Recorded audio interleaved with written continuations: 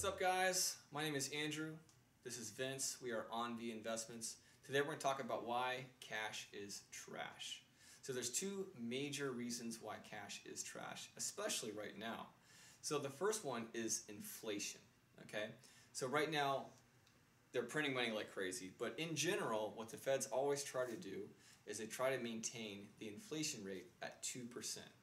So they're going to instill policies and do whatever they got to do to make sure it's 2% or at least close to that.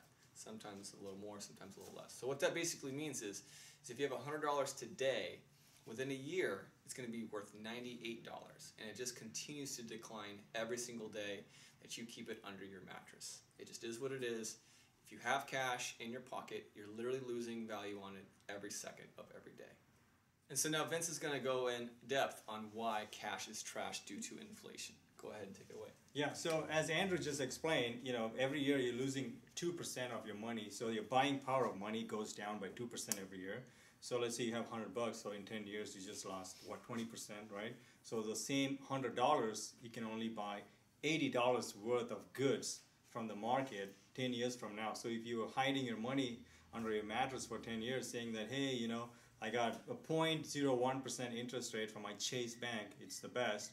You just lost so much money. So another reason I'll explain why is let's say if you wanted to buy real estate, for example, every year because of inflation, the value goes up, right? So since you're on the negative side, which means you're not doing anything with your money, so the price value of your house, everything keeps going up. And if you don't take part in this transaction, 10 years down the lane, you just lost so much value of the money. So the same $80 you have now, you can only buy $80 of real estate, right? But it's not even that much. It's actually worse because of inflation. The price of real estate goes up. So now every year the 2% went up. So it went up to $120. So now you're negative 40.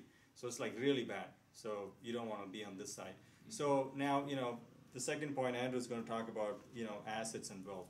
Yeah, so it, the second reason why cash is trash is because you're simply not building wealth. Okay, so I'm just going to go ahead and put that here.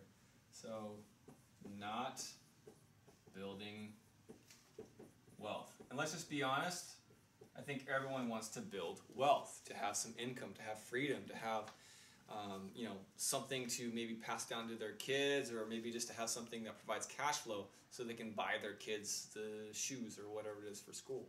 So um, with assets, if you are investing in assets such as stocks, bonds, and more namely real estate, um, you're going to now start to hedge not only against that inflation, but if you buy right, you can actually earn money over inflation.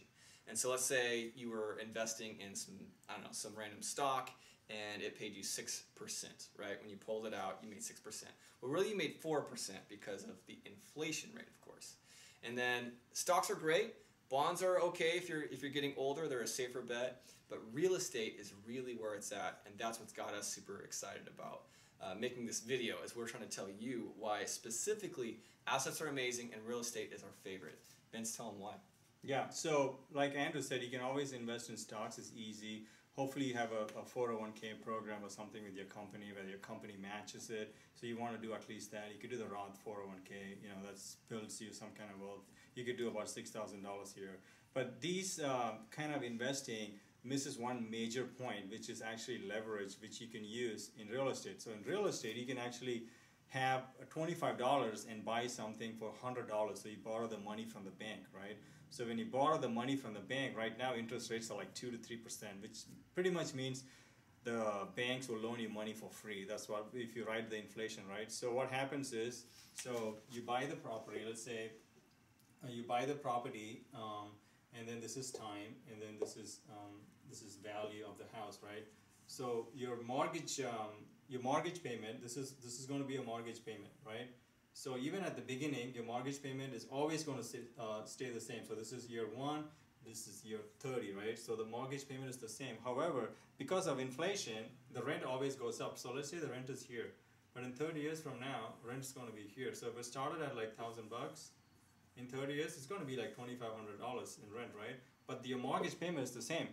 So you're just making all that money. So if you invest in real estate, is one of the uh, common like things you could do to hedge yourself against uh, inflation. So other benefits include, you know, you can shelter your money. You have uh, So some of the benefits include tax benefits, right? So if you get uh, money from real estate, it's not taxed the same way like my W two income. Let's say I make hundred thousand dollars, about thirty to forty k. You know, maybe thirty k goes to the government, right?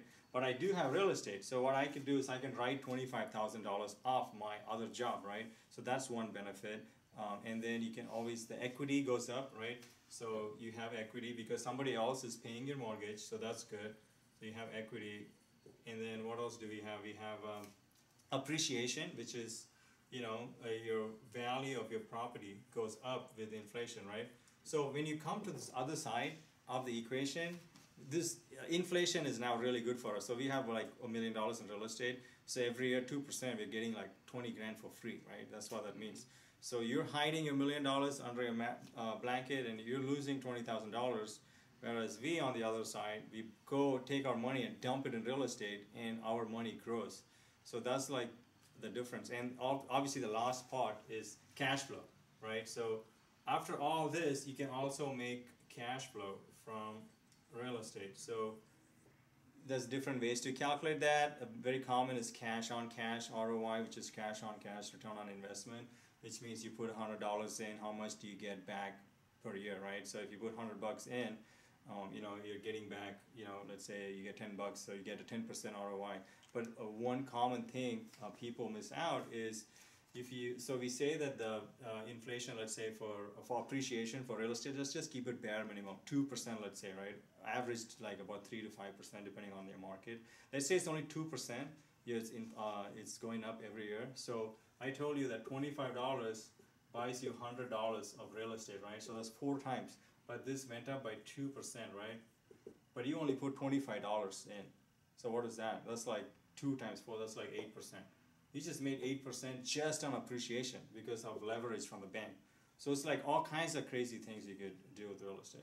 So to wrap, basically, either you can swim against the current or with the current. Going against the current is hiding your money in a mattress while it loses money every single second of the day.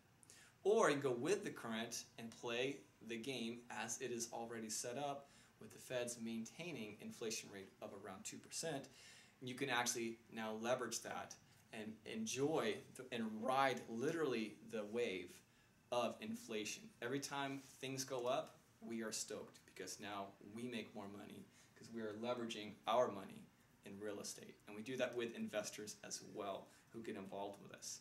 Everybody wins, and every time that inflation goes up, we are excited, not bummed out because we're going with the current.